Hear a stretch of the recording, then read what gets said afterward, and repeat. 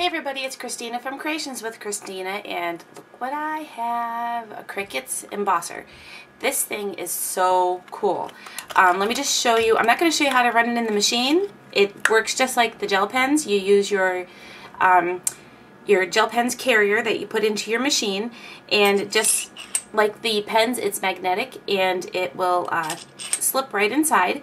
It's got a thicker end, which is great for um, using on metal and the thinner end which is fantastic on vellum. So let me just show you an example of a card I just did on using metal. Um, don't mind my sewing. I'm terrible sewer and I attempted, I failed.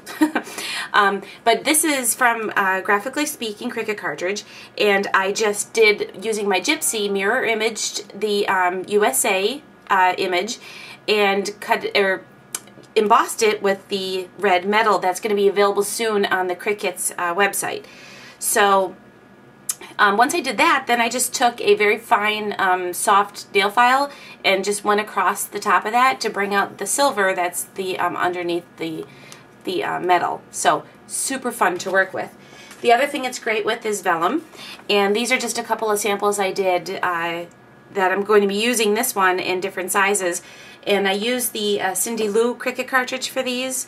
So I just went ahead and um, did them in two different sizes. Uh, well, the uh, bird sitting in a tree is on two different sizes, and this is just another tree uh, image that I did. So I'm going to use this one, and we're going to go ahead and make a card using this. And um, this is the vellum with the uh, thinner point on the embosser. So let's get started. Um, I'm just going to use a one and a half inch circle punch and I'm going to go ahead and cut out my, I'm not going to use my one and a half. I'm going to use my two inch and I should be using a circle punch but I'm just going to use my scallop. It doesn't really matter because this is going to be behind a layer. So I'm just cutting that out. And this is actually run uh, at one and three quarters inch. I did it at two inches originally, but one and three quarters seems to fit perfectly with the um, one and a half inch circle punch. So, and we're going to be using that. So, so that is my vellum, and I could even go ahead and ink over this, use some the uh, Tim Holtz Distress ink and just ink over this if I wanted to, but I'm going to leave it just like this. So, okay, for the card, um, let's start with our base first. I'm good. This is an 8.5 by 11 sheet of uh, cardstock. I'm just going to use my paper trimmer here, and I'm going to trim this in half. So it's five and a half inches. Just like that. And we only need one piece of that. And then I need my Scor-Pal because I'm going to create my uh, fold line. So there's my Scor-Pal and of course my bone folder has gone missing so I'm just going to use this one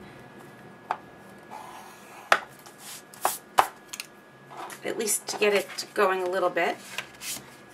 Okay. Here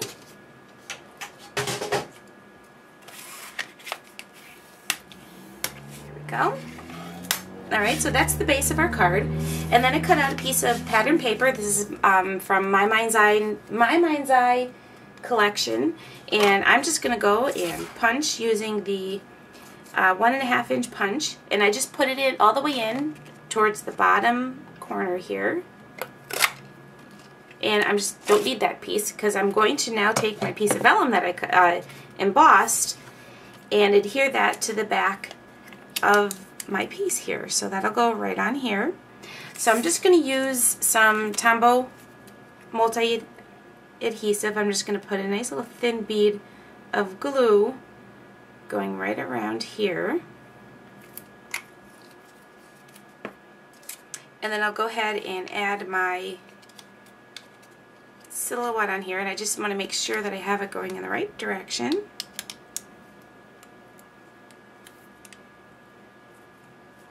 And just hold it down for a second just to get it to adhere.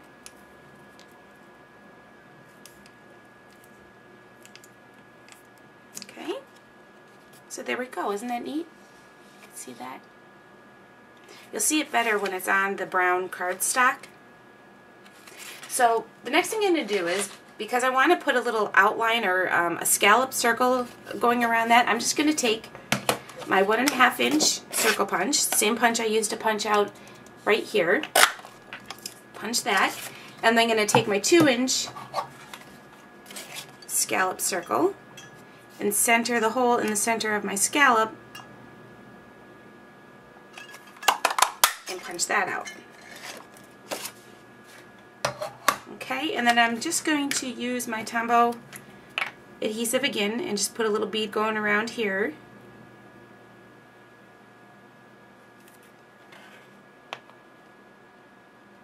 And that gets adhered right to here. Just like that. Okay?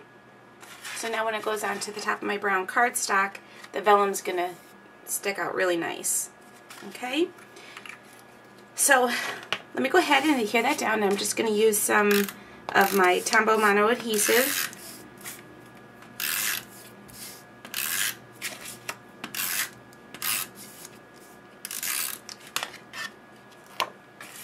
And I'll center that right on the front of my card.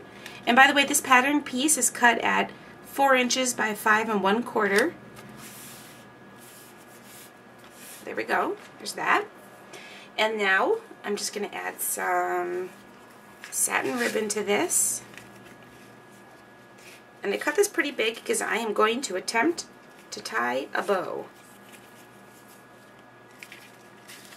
Okay, so it took a little bit of work, but I did get my bow tied. And now what I'm going to do is just add some of these crystals to my project here. So I'm just going to go ahead and lay those right down on my card. Just like this.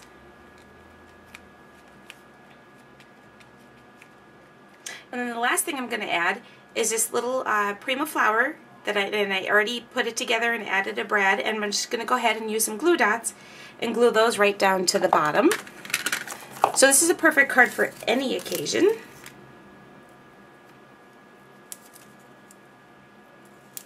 Okay, so I just added a glue dot to the back of my flower here and just add those right, that right to the front of my card. So that's the front of my card, but I wanted to show you one more thing. This is really cool. You recognize this? If you've been to my website, you'll see this is the banner on my website and also on my YouTube channel.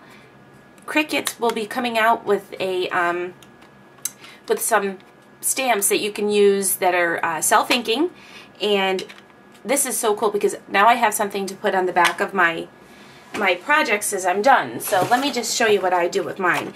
So I just, uh, all you do is just take the bottom off and you can see this is really neat. I've never seen um, a stamp like this, so super cool. And you just go ahead and stamp your image. And then I just take my, um, let's see, one out before. Oh, here, let's use this one. This is a ticket punch that I just bought not too long ago. And it fits perfectly in here. It also works great with the scallop uh, scallop oval punch. And usually what I do is I ink it, distress it a little bit. I'm not going to do that now, but then what I do is just go ahead and adhere that right to the back of my projects. So make sure you check out the Cricuts website because these will be coming out soon, as well as some other great new products they're going to be doing. So thanks for watching another episode of Creations with Christina. See you next time. Bye.